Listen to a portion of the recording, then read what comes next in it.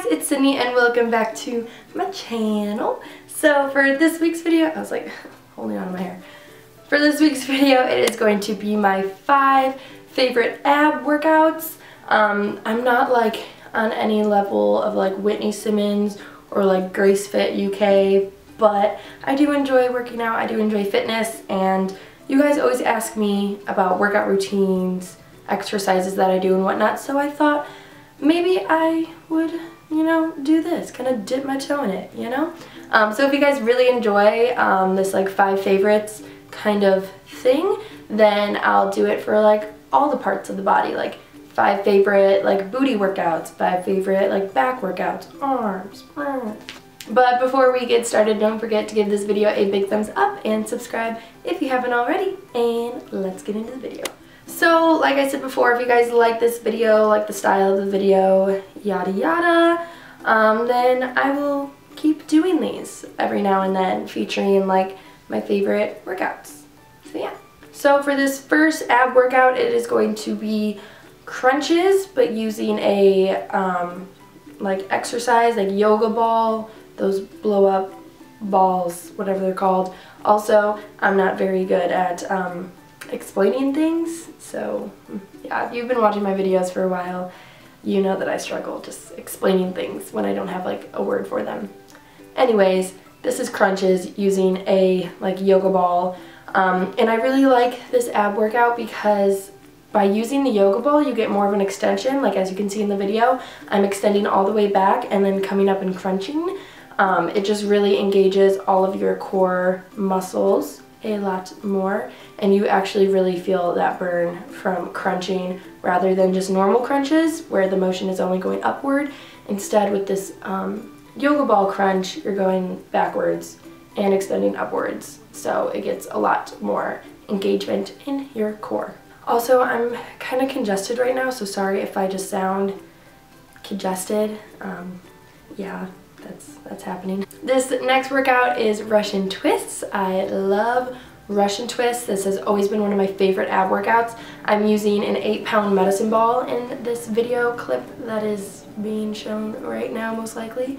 And you could do Russian twist one of two ways. I do it both ways in this clip. You can do it with your feet up, like hovering your feet. It's a bit more of a challenge.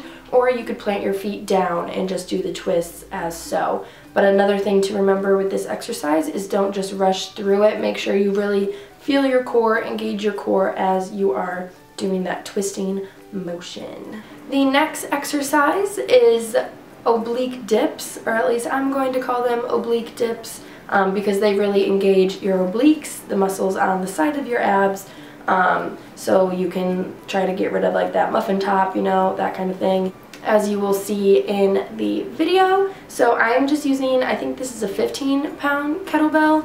You could use a kettlebell, you can use a dumbbell, just anything that'll add weight on um, because it does give a bit more of a challenge um, and so on and so forth. And so all you really do is you just, you just dip as you can see in the video.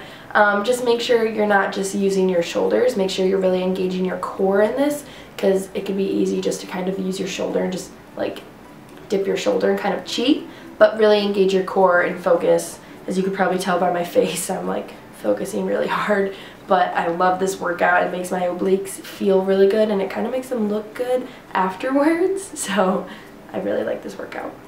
So the fourth workout for my five favorites is glute bridges and this is a glute bridge with one leg up. That's because it just engages your core a little more but this is also really good because it kind of tones in to your glutes as the name of the workout you know infers um, and your legs as well but if you just use that mind to muscle you can really engage your core with it as well and that's what kind of kicking your leg up does for you it kind of has your core a little bit more engaged so just do a couple on both legs. Um, and yeah, this is just one of my favorites because it just hits like multiple muscles and you know, I'm always one for some, for some glute workouts. I love my glutes. And this last workout, I don't really know what to call it. Don't, I'm not sure if it has like an actual name, but I really love this workout. You guys will see what I mean in the video clip, but it is just when you sit on a bench and you just hold on to the sides and you kick your legs over but you try to stay like stabilized so that you really feel that in your core. And this workout is amazing. I love it. It literally as we were like filming the clip for it I was like like are we done yet? Because it really just like knocks your abs out at the end of a workout and you can really feel it like working um, but yeah so when you are kicking your legs over you want to kind of kick your legs out but, and if you want for more of a challenge, you can kick your legs out further. You can do the kicks a little slower. Um, that'll give you more of a challenge. I think that's it.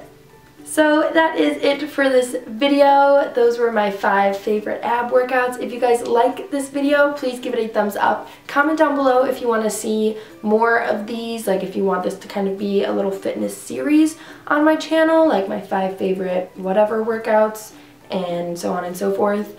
Um, I definitely appreciate you guys' feedback, so make sure to leave some if you like it. Thank you guys for watching. I put new videos up every Wednesday.